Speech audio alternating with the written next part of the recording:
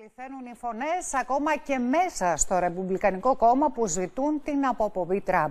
Όλα τα μέσα κοινωνικής δικτύωσης κλείνουν τους λογαριασμούς τους, προκαλώντας την οργή του. Δεν αξίζει να κατέχει αυτό το αξίωμα, διαμηνεί και ο Μπάιντεν, τονίζοντας ότι είναι καλύτερα που ο Τραμπ δεν θα πάει στην ορκομοσία.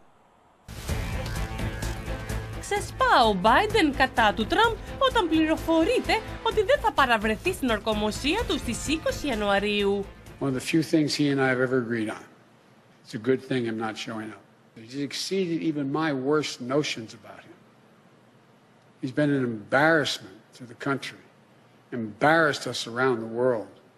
Not worthy, not worthy to hold that office. Μετά το Facebook και το Instagram, τώρα και το Twitter κλείνουν τον προσωπικό λογαριασμό του Τραμπ. Πρόκειται για βαθύ πλήγμα, καθώς ήταν η αγαπημένη του πλατφόρμα που τιμούσε με καθημερινές αναρτήσεις. Επιτά από διεξοδική εξέταση πρόσφατων αναρτήσεων στο λογαριασμό Real Donald Trump, αναστήλαμε μόνιμα το λογαριασμό εξαιτίας του κινδύνου περαιτέρω υποκίνησης βίας. Ο ίδιος πρόλαβε και πόσταρε σε έναν τελευταίο tweet, στο οποίο κατηγορεί το δημοφιλές μέσο. Όπως προειδοποίησα εδώ και πολύ καιρό, το Twitter πάει ολοένα πιο μακριά στην απαγόρευση της ελευθερίας του λόγου. Ο Μάικλ Κόν, πρώην δικηγόρος του Τραμπ, δηλώνει μέσω Twitter πως προτίθεται να καταθέσει εναντίον του. Ο Κόεν δούλευε για τον Τραμπ πάνω από μία δεκαετία.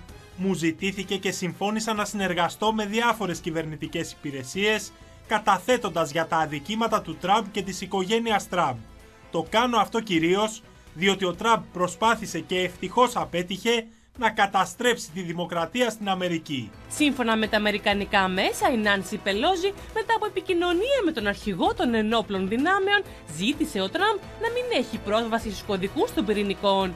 Τον χαρακτήρισε ακόμα και ψυχικά ασταθή.